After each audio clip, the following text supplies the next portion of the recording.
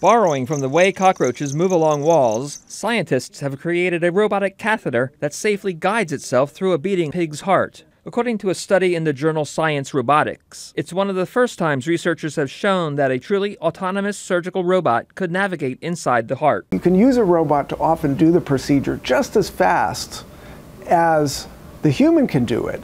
Um, but if you're just as fast and you're not really any better, what's the value of the robot? And so we stepped back and said, well, how about if we have the robot do it by itself? Um, and we don't want to leave the clinician completely out of the picture.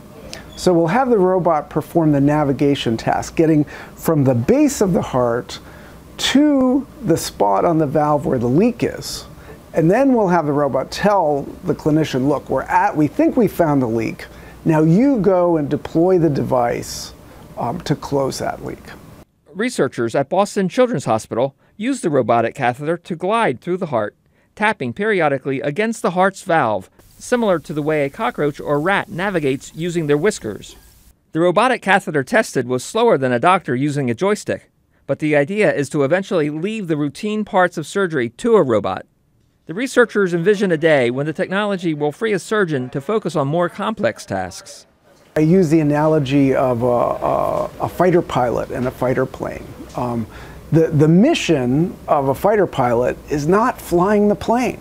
The mission is to deliver a payload or do reconnaissance. And it's those higher level things that the pilot is focused on. And the plane is flying itself, um, taking care of defending itself and the pilot.